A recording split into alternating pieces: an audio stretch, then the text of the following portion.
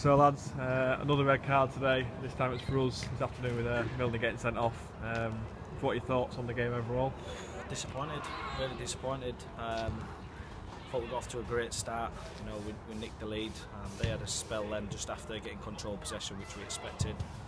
Um, you know, then we, uh, grinded that bit out, and then I thought we got control. We started to look decent. We started to take control of possession, and then literally um, just a bit of an error between the back four and then Milnes took him down and it was a red card you know and I, don't think he was offside if I'm so a bit of a mistake from our, our back four and then obviously we're down to 10 men. Um, I thought for the next five minutes we, we were good and then obviously just before half time which was a killer we just scored with a bit of a, bit of a uh, deflected shot I think from, from uh, Paddy Miller which you know it's not a great time to score. I think we're getting at half time you know 1-0 there's a bit more pressure on them and then second half, we you know, we defended well, and then obviously, I think there was two mistakes second half which cost you. And if you make mistakes in big games like this, you know, you're going to get punished.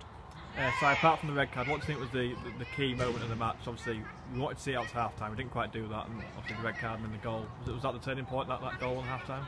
No, I don't think so because um, I think like you know we've still got something to defend, still got something to hang on for um, in the second half. And I thought, to be fair, we came out in the second half for 20 minutes. I thought we did really well.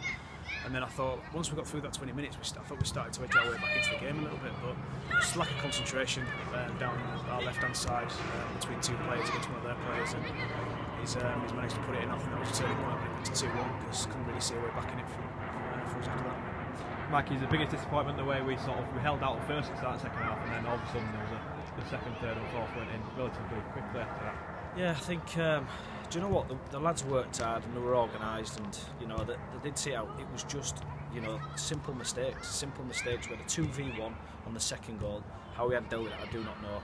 Um, the kid then, you know, tucked it in their post. Third goal, credit to them. You know, they flattened out our back four and they got an overload on one side. It was a good goal. You know, I'll hold my hands up to that and say well done to that.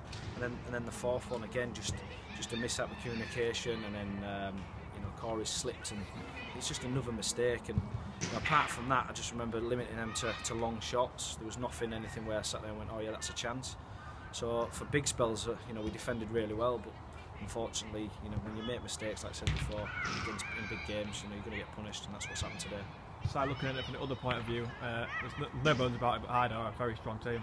Yeah, yeah, they're a good team. They're, um, you know, with them and Bamber, I think they're probably the strongest two teams we've played so far in the season. Um, and that's you know that's one of the disappointing things because like for for 40 minutes until the until the red card, I thought we were like you know doing really well, matching him up, and thought we could have come away with something if we're going in half time with full squad and uh, or full team, sorry, and um, one 0 it, it might be a different story in the second half. So that's a disappointing thing really. But yeah, they're a good side. We know Darren and uh, and Dave McGurk really well, so um, we know what they're about and uh, got some good players in their side as well. And like moving on to next Saturday, it doesn't get much easier. The trip to the, the league leaders, South Shields. Um, I'm sure you're relishing the challenge of. Uh, of that going up north? Yeah, yeah. Uh, we know Lee and Graham quite well as well from the, from the 18s. Um, so yeah, it's going to be a tough test. But do you know what? If, if you look at like when we're 11 v 11 there, we, we match these. They're probably one, probably the best team we've played this season. South Shields are exactly the same. I've said it to anyone. We're, we're as good as anyone uh, when we're on it. If we can limit their mistakes, then you never know what can happen next week. And finally, Mike, just staying with you, just a little word on a new signing, Joe Pugh. Yeah, delighted to get him across uh, across the line. We've, uh, we've, we've known him for a long time. You know, we watched him last year actually uh, for Donny first team. He's he's a handful. You know, he's a real strong lad. Um, he's a good finisher, but his, his work ethic's uh, top notch. And you know, he's one of them players that we've had our eyes on him for a while. And and, and, he's, and we've just been able to sort of got him from North Ferriby, so he'll be a good addition to the team. The lads will like him. I'm pretty sure the fans will love him.